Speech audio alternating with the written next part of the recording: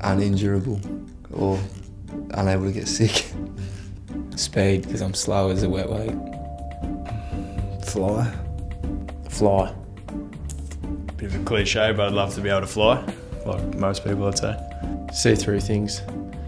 I'd be invisible.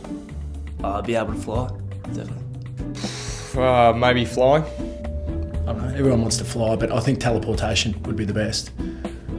Um, invisibility. I'd like to be super quick though. I'd like to be, yeah, real fast. Invisible, I reckon.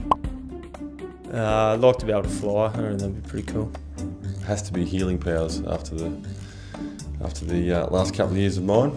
The ability to be wherever you want. Probably speed, because I've got none at the minute.